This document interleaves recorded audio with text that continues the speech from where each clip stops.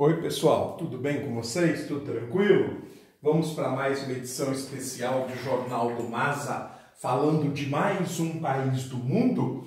Evidentemente, um país que nós abordamos em reportagem recente, que foi a França, o problema que o governo está tendo com os coletes amarelos, que há 26 semanas consecutivamente vem simplesmente agitando o governo do país. A França, que é um país que se localiza na Europa centro-ocidental, lembrando que nós já analisamos a Grécia, já analisamos o Reino Unido, a Espanha e agora vamos fazer mais este país europeu. Observem bem, Cor Verde é um dos maiores países da Europa Ocidental. Ele faz fronteira ao norte. Evidentemente existe um braço do mar que separa do Reino Unido, a leste, a nossa direita com a Alemanha, também a leste com a Itália e oeste, a esquerda com a Espanha, são suas principais fronteiras. Então eu estendi um mapa da Europa para que vocês pudessem reconhecer a França, localizar a França. A gente sempre recomenda que vocês façam esse tipo de trabalho acompanhados por um atlas fundamental para que vocês então possam localizar, possam acompanhar e observar. Isso ajuda bastante. Bem, a gente já sabe que nós vamos estudar a França, a gente tem um padrão de estudos, já uma série de países importantes listados. Um dia, com certeza, nós terminaremos todos os países do mundo mas a França atualmente tem uma população de 67 milhões e 300 mil pessoas. Lembrando a vocês que, como a fonte é internacional, ela leva em consideração todos os habitantes da França, inclusive nas suas colônias, nas suas possessões, nos seus departamentos ultramarinos. O país é o 22 mais populoso do mundo em termos de área, valendo a mesma observação para a população, são cerca de 640 mil quilômetros quadrados, aproximadamente o nosso estado da Bahia, o nosso estado de Minas Gerais. 42 país em extensão do mundo e a densidade demográfica, que é quando nós comparamos as duas grandezas, é de 105 habitantes por quilômetro quadrado, cerca de quatro vezes maior do que o do Brasil.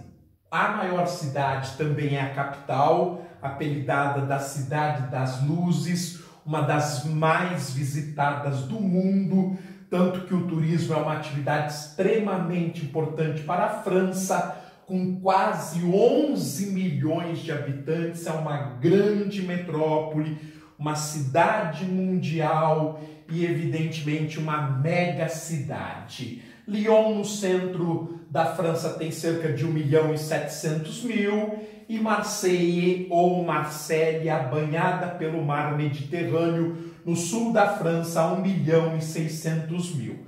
Para terminar, Lille, uma cidade com 1 milhão e 50 mil habitantes, são as quatro maiores cidades do país. Crescimento vegetativo é vegetativo, perdão, é típico de um país rico, 0,4% ao ano, quer dizer que a população cresce muito pouco. No caso da França, ela cresce principalmente graças aos imigrantes, onde se registra uma taxa de natalidade mais acentuada. No caso, os imigrantes fazem um percentual muito significativo da França em cada, em cada oito franceses, um é imigrante, quer dizer, nós temos quase 9 milhões de habitantes vivendo no território da França, um número, como eu disse, muito significativo. A natalidade e a mortalidade elas são baixas, e quando você desconta uma da outra, o resultado é aquele crescimento baixo. A taxa de mortalidade infantil é extraordinária, apenas 3,2 por mil. Isso mostra preocupação com a saúde, é um dos países que mais investe proporcionalmente. À saúde, significa 11% do orçamento, Orçamento da França que é de um trilhão e meio, mais de 50% do PIB da França, o PIB da França que é de 2 trilhões e 800 bilhões de dólares. Então, o orçamento do Estado francês ele significa 56% do peso da economia. Exatamente isso que vocês ouviram. Um dos países mais ricos e importantes do mundo tem um peso na economia extraordinariamente elevado de 56%. Gente, o setor da saúde, ele também é desfrutado naquilo que tange a expectativa de vida. O homem vive 79 anos, uma das maiores esperanças do planeta. O mesmo se dá com a mulher, 85%. A educação, ela é obrigatória dos 6 aos 15 anos e a taxa de analfabetismo é insignificante, abaixo de 1%. Então, esses são os dados gerais da população francesa. O governo da França é aquela, digamos, joia, preciosidade diferente de outros locais do mundo, já que ele é uma república semipresidencialista. O chefe de Estado é o presidente Emmanuel Macron e o chefe de governo é o primeiro-ministro Eduardo Felipe. Só que aqui o chefe de Estado acaba tendo mais peso que o chefe de governo, né? Por isso que é uma república semipresidencialista. O presidente Emmanuel Macron, que tem 42 anos, é um jovem e que assumiu dia 14 de maio de 2017. O chefe de governo é o primeiro-ministro Eduardo Philippe, né, com 49 anos, um pouquinho mais velho que Emmanuel Macron, mas também muito jovem, e que é nomeado e que é empossado no dia seguinte, no dia 15 de maio de 2017. As Forças Armadas Francesas são formadas por um pouco mais de 200 mil soldados, com orçamento de quase 50 bilhões de dólares, o que coloca a França entre uma das potências militares do mundo com um orçamento muito significativo. No que tange a economia, o perfil do país é um perfil bastante rico. A indústria é variada, ela, nós temos tantos setores como o setor dos bens de consumo, como é o caso do têxtil, até o turismo, a indústria sem chaminé, a indústria de base, a metalurgia, a indústria de bens de consumo de produtos duráveis, como a indústria automobilística francesa extremamente forte. Nós temos a Renault, a Peugeot, a Citroën, entre as indústrias mais famosas do mundo.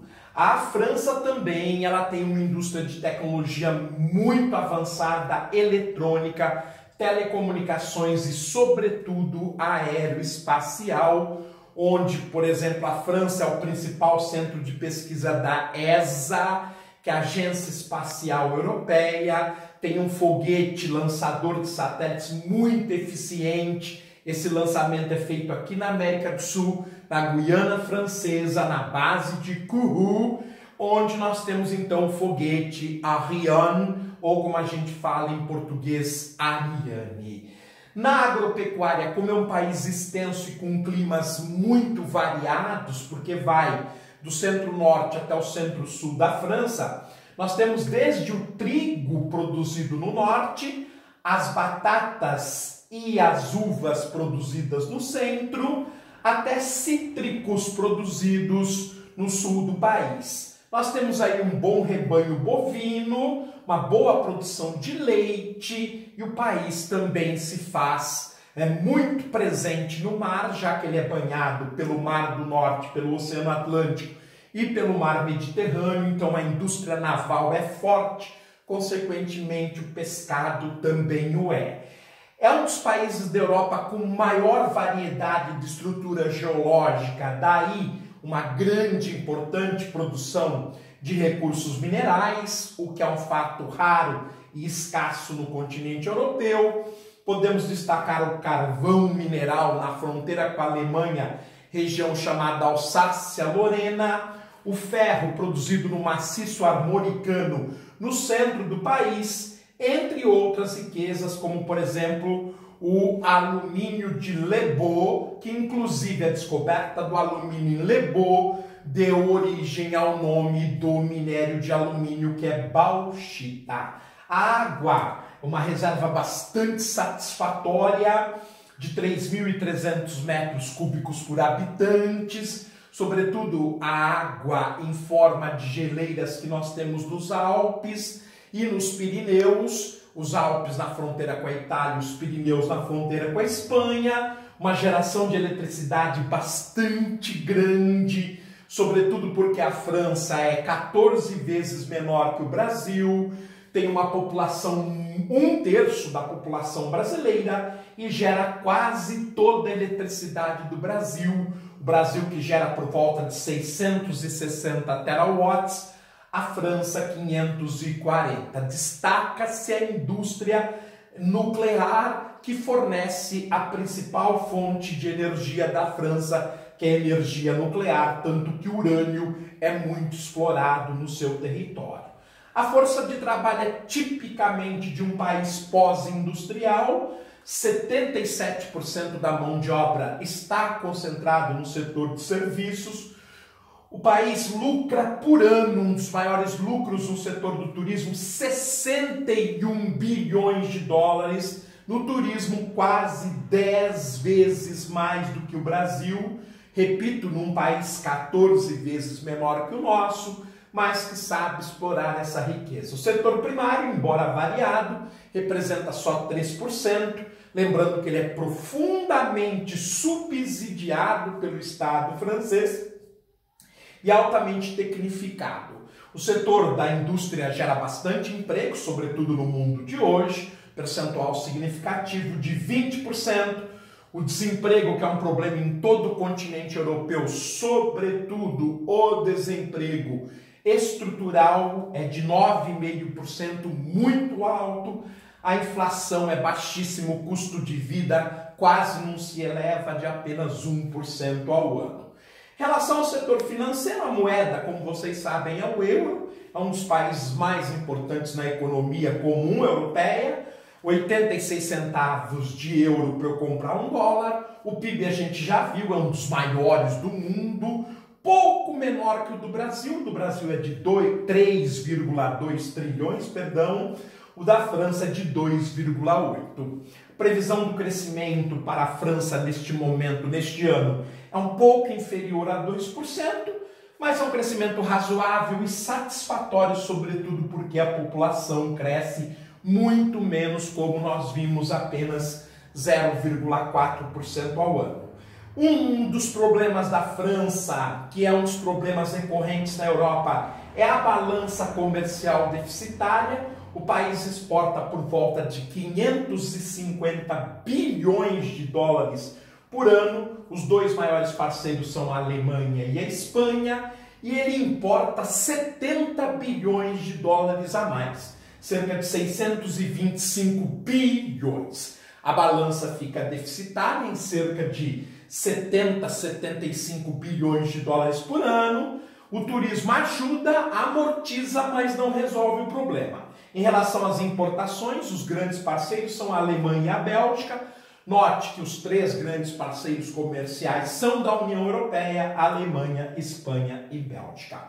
Em relação a itens de consumo, o sistema ferroviário é extraordinário Repito, a França tem um território 14 vezes menor do que o brasileiro e tem o mesmo tamanho de ferrovias. Quer dizer que é um país muito bem servido. Além do mais, é um dos inventores do trem-bala, no caso TGV, Grande Vitesse, quer dizer, trem de grande velocidade, que na França é, é que vai ser a base do Eurotrem, que é o trem de alta velocidade, que se espalha pelo continente europeu a partir da França. A média desse trem é de 260 km por hora, extremamente eficiente.